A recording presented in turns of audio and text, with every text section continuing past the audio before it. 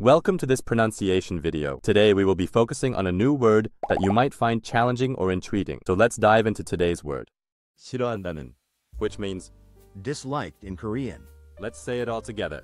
싫어한다는, 싫어한다는, 싫어한다는. One more time. 싫어한다는, 싫어한다는, 싫어한다는. Thank you for joining us on this adventure in pronunciation. Remember, language is a journey, not a destination. Keep exploring, experimenting, and expanding your linguistic horizons. We'll see you next time.